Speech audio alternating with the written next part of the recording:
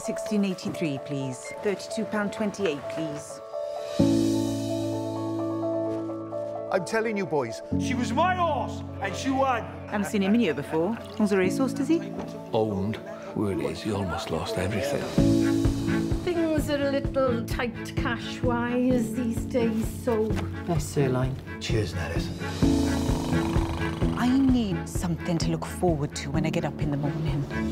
I'm going to breed a racehorse. Absolute madness.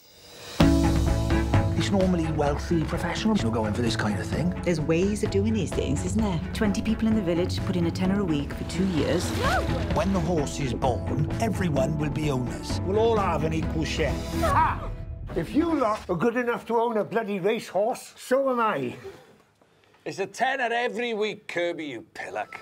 Oh, God, he's gorgeous, isn't he? We need a name. What about Dream Alliance?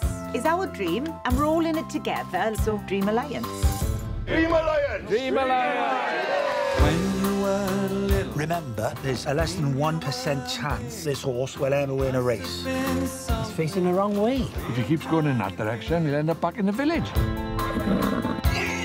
He's pretty rough around the edges. Come on, lad. Governor? He's definitely got something about him. Spirit. Character. Like his own. Be brave. This is what you're born to do. We're going to the races. Our horse is gonna race! Ah! So proud of you. Seems like anything was possible. The horse from nowhere has captured the hearts of the nation.